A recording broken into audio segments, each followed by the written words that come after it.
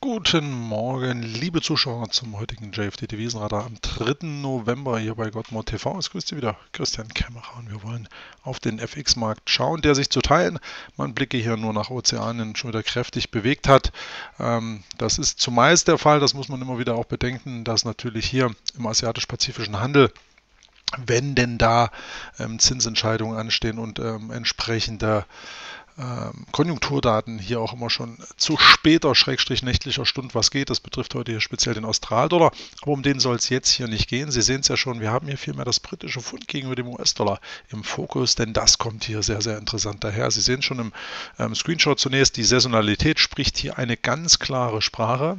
Der Weg zeigt hier rein technisch nach oben und auch unter charttechnischen Gesichtspunkten sieht das Währungspaar mal ganz interessant aus. Gehen wir dazu mal kurz auf den Wochenchart. Big Picture, eine Candle, eine Woche. Und man sieht mehr oder weniger, dass nach dem starken Ausverkauf hier beginnt vom Sommer 2014 ähm, hier dieser, dieser kleine Fake-Out unter diesem Doppelboden unter dieser Unterstützung hier aus dem Jahr 2013 hier zu einer sehr, sehr ranten, äh, rasanten ähm, Erholungsbewegung führte. Solche Fakes sind im Übrigen auch immer wieder sehr interessant, wenn man denn hier den Mut hat, als Counter-Trader einzusteigen. Sie sehen hier zum Beispiel das Tief vom Januar 2015, das war 1,4950 und ein paar Pips drüber, hier mit dieser Kerze vom April, dieser Erholungskerze, hätte man hier spekulativen Einstieg finden können, um eben praktisch hier mit dieser kleinen horizontalen Widerstandszone hier auf einen Erholungsturnaround spekulieren zu können. Und ja, er wurde zunächst belohnt, bis es dann hier im Juni, also im laufenden Sommer, bei 1,5929 erstmal vorbei war. Die Marke von 1,60 blieb unerreicht. Nichtsdestotrotz haben wir hier zunächst mal einen Abwärtstrend vorliegen, der auf Wochenbasis auch ja, intakt ist. Wir versuchen hier so eine Art Kanal zu ziehen. Klappt ganz gut wieder, wenn wir versuchen, möglichst viele Punkte zu erwischen. Ähm, aber wir sehen hier, dass unlängst eben auch die Unterstützung hier um 1,5130 äh, positiv wirkte, hier mit dieser Kerze von Ende September. Dann sahen wir seither Erholungsimpulse und ja, das Paar versucht sich hier mehr oder weniger an einem wichtigen Niveau. Ähm, das zeichne ich auch mal hier auf Wochenbasis ein. Da lässt sich das auch mit den Kerzenspitzen hier sehr schön lokalisieren. Schmal, klein, aber fein. Wir machen das mal ein Stück weit breiter nach oben. So, das ist mal hier die Zone. Knapp über 1,55 ähm, haben wir hier eine kleine Widerstandszone neben dem Level, was ich hier dann untergeordnet sehen um 1,5585. Dieses Level ist, ja, ich will es jetzt mal hier mehr oder weniger als gelbe Zone markieren. Nicht mehr das Allentscheidende, aber das, was wir jetzt vor uns haben, ist sehr interessant, gerade vor dem Hintergrund, wenn Sie den Tageschart betrachten und den schauen wir uns jetzt an. Wir haben gesehen, das britische Pfund kam hier aus dem Erholungsimpuls, hat hier bei 1,58 äh, gedreht und hier sehen wir jetzt eine ganz tendenzielle Abwärtsstruktur, die auch unlängst hier im Widerstandsbereich 1,5475 ähm, hier im Oktober bestätigt wurde. Es gab einen scharfen Abverkauf. Hier alle Trendlinien-Trader wurden auch hier abgeholt, letztlich mit der Schwäche von Ende Oktober. Und ja, jetzt sehen wir hier, dass wir speziell jetzt Ende Oktober, die letzten zwei Handelstage, einen sehr, sehr starken Gegenbewegungsmove gesehen haben. Und hier diese Abwärtstendenz, die grundsätzlich hätte bis zum letzten Tiefschrägstrich darunter reichen können, dann wären wir mit einem New Low ähm, in der Situation gewesen, dass der Markt hier ganz klar weitere Tiefs sehen will. Der Markt hat aber hier das Tief vom 13.10. und auch das Tief hier vom 30.09., das markante Tief, nicht unterschritten. Er hat vielmehr hier ein höheres Zwischentief ausgebildet und das lässt natürlich jetzt mutmaßen, dass der Markt, ja, wenn er jetzt hier dieses Hoch überwinden sollte, praktisch vor einem sehr, sehr bullischen Manöver steht. Das könnte so aussehen.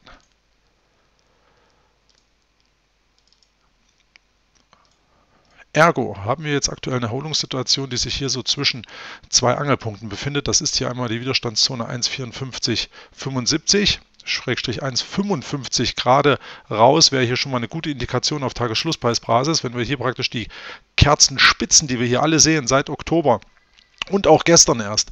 Wenn wir diese hier per Daily Close überwinden würden, wäre das auf jeden Fall ein taktisches Signal. Es könnte hier zu weiteren Käufen kommen, gegebenenfalls Pullback und dann den nächsten Aufstieg. Das spricht natürlich für eine gewisse US-Dollar-Schwäche. Gegenüber dem britischen Pfund. Das muss ich jetzt erstmal zeigen. Sie wissen, es wird nach wie vor orakelt, ob äh, Zinsanhebung kommt oder nicht. Ähm, da wollen wir jetzt uns gar nicht darauf fokussieren. Wir wollen vielmehr den Preischart betrachten und der sagt jetzt hier aktuell, dass hier Spannung aufgebaut wird. Und ergo, wenn wir ein neues Hoch machen, hier per Tagesschluss insbesondere oder eben ausbrechen nach unten und hier das Tief vom 29. Oktober bei 1,5240 unterschreiten, dann wären hier signifikante Folgesignale zu erwarten rein technisch. Aktuell würde ich aber hier den leicht positiven Bias durchaus präferieren, auch vor dem Hintergrund, dass wir eben rein technisch eine sehr, sehr bullische Saisonalität vor uns haben. Das sieht gut aus, dem kann man sich nicht entziehen und insofern sollte man hier einfach mal das Augenmerk auch darauf rücken, dass wenn wir hier oben ausbrechen, sicherlich zu Folge Aufwärtsschüben kommen kann. Und das heißt, das klingt ganz interessant, wie es hier denn letztlich weitergehen kann. Für den heutigen Intraday-Verlauf. Wir haben 10.30 Uhr äh, wieder mal einen Event-Tag. Heute gibt es den Einkaufsmanager-Index für den Bausektor. Gestern sehen Sie hier diese Kerze von 10.30 Uhr gab es ja auch wieder News aus Great Britain, die wurden hier rigoros gekauft, Ausbruch neues Tageshoch, dann aber ganz, ganz schwache Tage, äh, Tagesschlussentwicklung. Sie sehen auch hier die Kerze. Ähm, die Hochs wurden wieder am Widerstandslevel hier 1,5475 gegeben. Der Markt hat gerade zum Mittag hin eine enorme Schwäche gehabt und ja, jetzt hat er sich mehr oder weniger stabilisiert. Wir sehen hier im Stundenchart, da gehen wir mal kurz rein, ähm, eine leichte Supportzone, die jetzt mit dem aktuellen Rücklauf ihre Bestätigung finden könnte.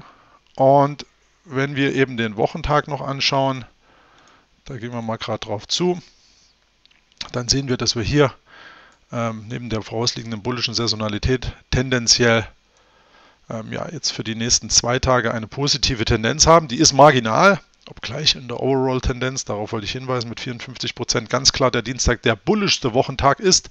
Sprechen wir über die letzten 16 Handelsjahre. Ähm, 54 ist eine durchaus positive Wert, aber morgen mit 58 Prozent muss man schon sagen, hier hat das Fund einen klaren Vorteil. Hingegen Freitag, ja, brauchen wir nicht drüber reden. Ähm, letztlich kurzfristig sehen oder stehen die Zeichen vielmehr auf einem guten Bein. Ob das natürlich sich jetzt weiter fortsetzt, wird einerseits sicherlich durch die News beeinflusst, andererseits vielleicht auch durch statistische Kennzahlen. Ich zeige Ihnen heute die FTSE-Vektorlogik zum britischen Pfund. Und da sehen wir, dass wir heute ein sehr, sehr starkes bullisches Pattern haben. Ähm, hier mit 71,5 Prozent Trefferquote, Erfolgsquote und das Ganze mit 228 Erscheinungen während der letzten ähm, Jahre führt es im Schnitt hier eben zu einer Performance bis zu 0,5, Tageshoch 1,5535, Tagestief allerdings unter 1,55, rein statistisch. Ob das so kommt, muss man mal sehen. Aber rein technisch hat sich hier auf jeden Fall die Möglichkeit eröffnet, dass der Markt ähm, hier auch von der statistischen Seite her ja, einen positiven Bias heute intraday erhalten könnte. Das heißt, wenn die Unterstützung, die wir hier sehen, bei 1,54 rund, ähm, heutige Tagestiefs ergo, wenn das gehalten werden kann, dann könnte sich von diesem Level ausgehenden Aufwärtsimpuls erschließen. Wie gesagt, achten Sie auf 10.30 Uhr, da kann viel passieren, da wird wahrscheinlich auch wieder viel passieren. Äh, ist das britische Pfund in der Regel sehr anfällig. Ähm, sollte es dazu entgegen dem, dass es nach oben geht, hier doch einen schwächeren Tag geben, dann wäre hier ein Rückgang unter 1,54, speziell unter das gestrige Tagestief. Ja, also mit 1,54 wären wir dann drunter, ähm, dürfte es dann hier zu einem Test dieser, Sie sehen es gerade, diese Horizontalunterstützung, machen wir jetzt mal grün, zu dieser Zone kommen, also nochmals rund 30 Pips nach unten gehen und dann könnte sich auch hier noch eine viel tiefere Korrektur ergeben. Aber Sie sehen hier mit dem jüngsten Aufwärtsimpuls wäre das hier sozusagen eine Konsolidierung auf hohem Niveau, die dann auch wieder auf Tagesbasis gesehen durchaus sich weiter fortsetzen könnte. Wir sind halt eben die letzten Tage heiß gelaufen bis auf gestern.